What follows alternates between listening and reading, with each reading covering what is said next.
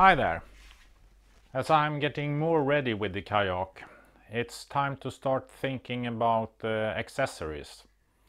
So this time I'm going to make some uh, different kinds of kayak seats. Uh, a kayak seat needs to be comfortable, of course, but there are also some other things that uh, one needs to pay attention to. For example, you don't want to sit too high, uh, especially if you're just kayaking or sailing. If you're fishing from a kayak, that's a different, different kind of seat you need. Uh, the seat that I'm going to do first is um, is just a standard seat uh, which is uh, in the blueprint that I bought from the designer but I will also try to make a more simple kind of seat which I think might be even better for my purposes at least. So let's start with that. The standard seat is made out of foam. In this case I have a 1 cm thick vinyl cell that is left from the bulkheads that I can use. I cut 40 cm times 40 cm big flakes for the bottom of the seat. I do not have so much material left, so I try to figure out how to use the material. Some pieces are not straight, but on the sides here it doesn't matter.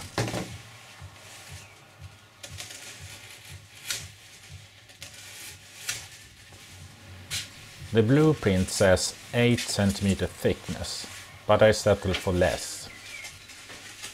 When I have got all the foam I need for the seat, I mix up some thickened epoxy.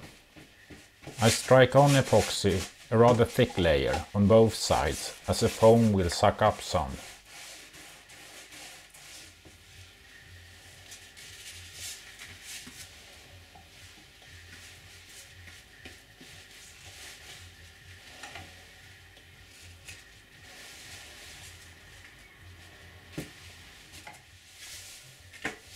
And try to fit the foam reasonably well.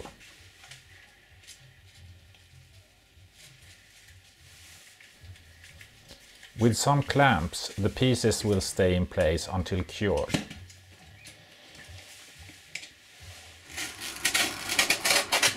When all is cured I clean cut the edges. I soon realized that a knife is not the best tool for shaping the foam. So I changed to an oscillating saw.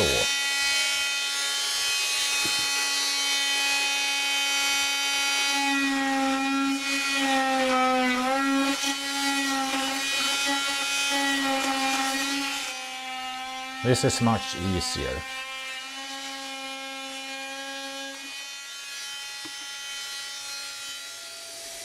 And I'm soon done so that I can vacuum off the dust and try the seat.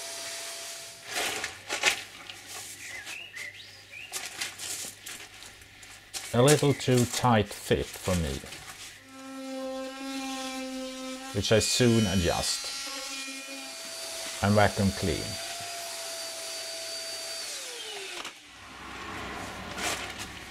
Better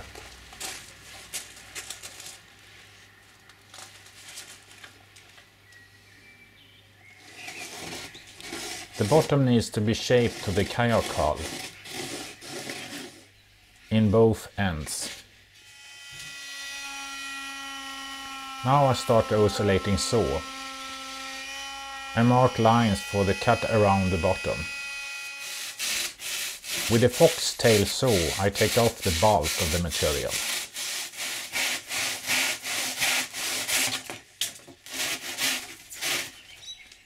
It's not pretty yet. With the oscillating saw as a planer, I take off the rest.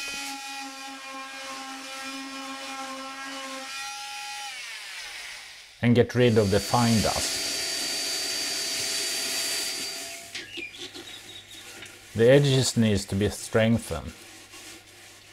Thickened epoxy and glass will make a strong and hard surface. When the epoxy has cured, I will add the foam pad as the surface layer. First, some glue.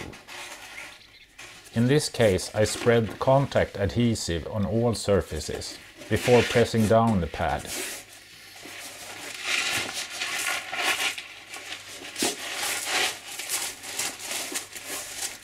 It soon gets boring, so I change to gravel.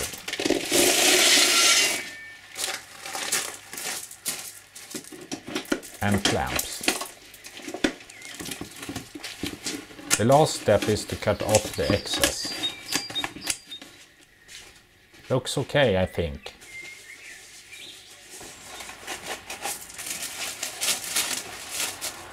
And it's comfortable.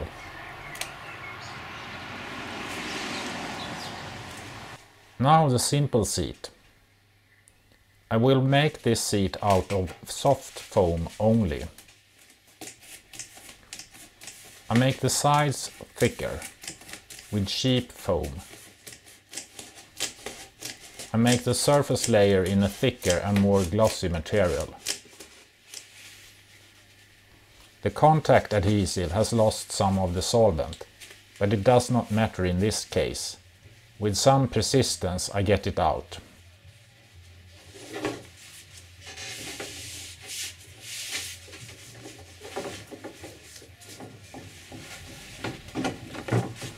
I press the layers together and let it cure.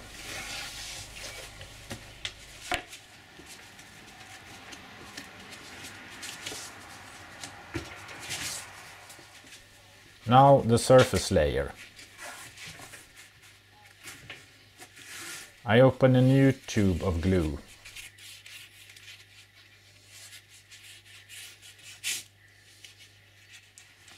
And add the surface layer.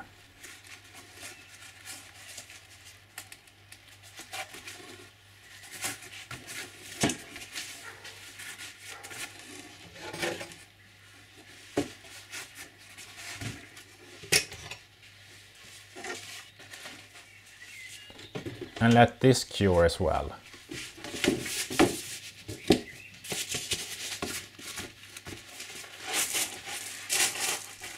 This is actually more comfortable than the other seat.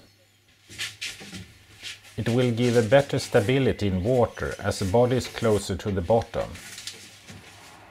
So I make another seat of the second type This one I make with uh, both sides in the glossy material. Using the newly opened tube it does not take many seconds to glue all three layers together in one go. With the small leftover piece I also managed to press the middle part of the pad together.